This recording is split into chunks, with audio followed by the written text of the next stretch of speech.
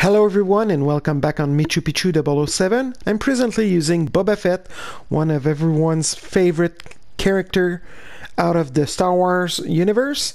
So I'm gonna use Boba Fett to show you the next power disc I've got in my collection.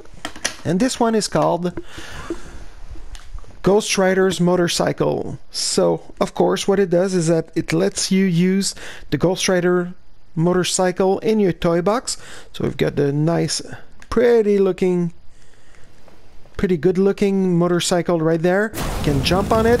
You've got flames everywhere. You can back up your motorcycle pressing L2 whoops just fallen to the the emptiness.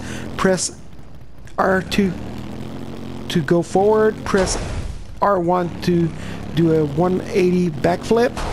And if you press the triangle you've got a nice boost with flames everywhere. So once again, this one is called Ghost Rider's Motorcycle and you can find it in Disney Infinity 3.0. Thank you, see you next time.